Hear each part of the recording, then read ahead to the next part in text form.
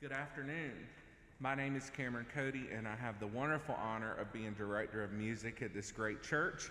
And I am so excited to share with you two very talented Houston musicians who happen to be very, very close friends of mine. And so I'm so excited for Dr. Joanna Whitsett and Grace Tice to begin our concert series here at Chapelwood. Tomorrow we have piano and cello, and on Friday the Schubert Mass in G will be performed in this room with strings and organ. Also on Thursday evening we will have a Maundy Thursday service featuring a work called Return to Me. Thank you all so much for coming, and I hope this means something to you very special on our journey to the cross this week. Thank you very much.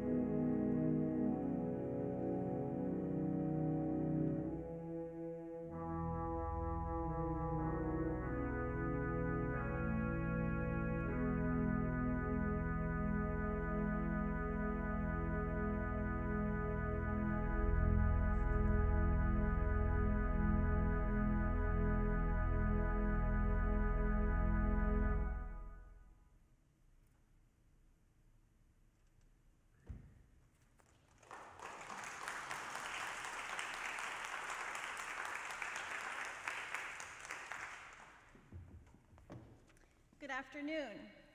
Thank you all for joining us today as we offer this brief respite to the day, observing Holy Week with anticipation for Easter Sunday. I'd like to, like to recognize Philip Baker, who wrote the aria for communion we just played. He's here, and thank you so much, Philip.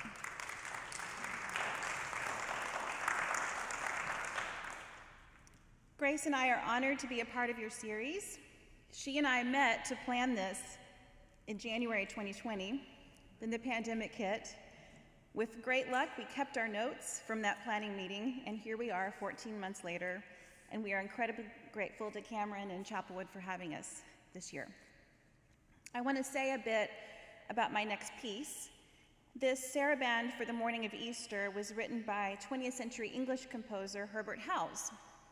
He served as the organist of Gloucester Cathedral and was good friends with Vaughan Williams, who also served as his mentor. This piece was written in 1940, and it comes from his set of six organ, six pieces for organ. You'll hear the full range and sounds of the organ as it narrates through harmonies, texture, and registration the journey from the entrance into Jerusalem with the palms to the passion to the triumphant resurrection. The saraband is a stage dance originating from Spain and then France in the 17th and 18th centuries. It's very slow and stately. You'll hear the rhythmic motive woven throughout. We'll then conclude with three hymn tune arrangements from familiar hymns. And thank you again for coming, and we'd love to visit with you after. Thank you so much.